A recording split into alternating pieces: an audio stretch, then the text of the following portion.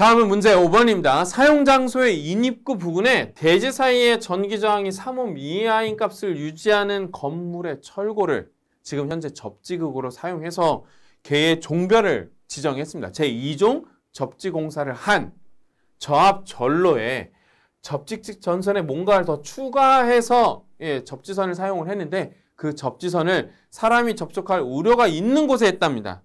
그러니까 사람이 잡을 수 있다라는 거죠. 그러니까 가장 기본적으로 해야 할 공사 방법이 무엇냐라고 물어보는 겁니다. 그러면 이 중에서 제일 편한 거, 본인 자신으로서 안전성을 확보한 거 어떤 거가 있나요?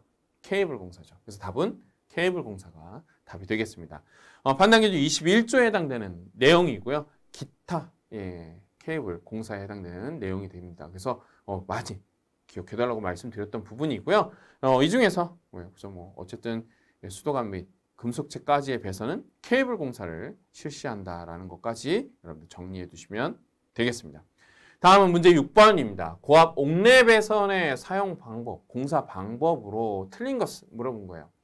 어, 사실상 예, 고압 옥내 배선, 고압 설비, 고압 전선이 옥내로 들어와서 옥내에 배선을 하게 되는데 여기서 가능한 거와 가능하지 않는 거 어떤 것이 있느냐라는 거였죠. 뭐 여러분들이 애자 사용 공사가 조금 어, 불편한 마음이 있어서 애자 사용 공사를 설정하는 경우도 물론 있기는 한데 이거 조심하셔야 돼요. 건조한 장소에서 전개된 장소에 한한다.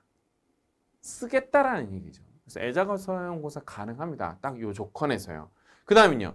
그 다음에 뭐 당연히 고압이니까 케이블 쓰셔야 되겠죠. 그래서 케이블 공사 그리고요. 케이블 트레이 공사 뭐가 안 돼요? 예, 합성 수지관 공사가 안 됩니다. 그래서 답은 2번이 답입니다. 잘 기억하고 계셔야 하는 조항이고요. 판단 기준 209조에 해당되는 내용이고 별표하고 암기하셔야 됩니다. 고압 옥랩에서는 애자 사용 공사, 케이블 공사 그리고 케이블 트레이 공사가 가능하다. 애자 사용 공사는 전개된 장소, 건조한 장소로서 전개된 곳이어야만 가능하다. 다음은 문제 7번입니다.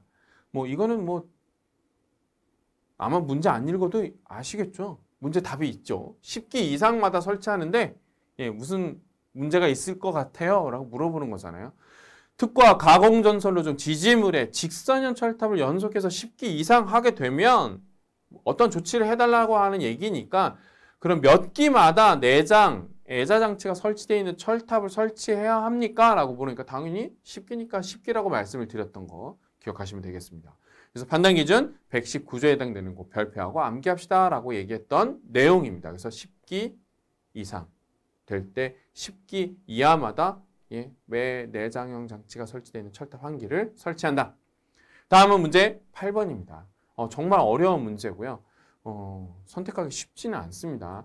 사용자 납의 440V인 이동 기준기용 예, 접촉 전선을 애자 사용공사에서 시설할 때 옥내에 전개된 장소에 시설하는 경우 사용할 수 있는 전선은 우선적으로는 조금 전압이 높고요. 접촉 전선인 것도 중요한 부분이고요. 애자 사용 공사를 했기 때문에 인장 강도하고 예, 그리고 좀 전선이 두꺼워야 하기는 하지만 사실상 사용 전압이 440V이기 때문에 그렇게 크지는 않더라. 예, 그래서 적정선은 어떤 거예요? 인장 강도가 11.2km 이상인 것에 지름은 6mm 이상의 경동선이어야 하고 단면적은 28스퀘어 이상이어야 한다. 그래서 답은 3번이고요. 판단 기준 206조에 해당되는 내용입니다. 그대로 적용해 주시면 되겠습니다.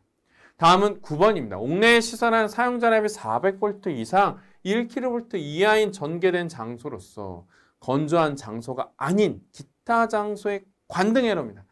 우선 관등회로 나오면 사실상 애자 사용 공사가 거의 일반적으로 적용되는 공사인 거는 맞습니다. 그래서 답은 1번이고요. 판단 기준 214조에 해당되는 내용입니다. 400V 이상 1km 이하의 전개된 장소 그리고 건조된 장소가 아닌 기타 장소의 관등회로는 애자 사용 공사로 준하여 시공한다. 다음은 문제 10번입니다.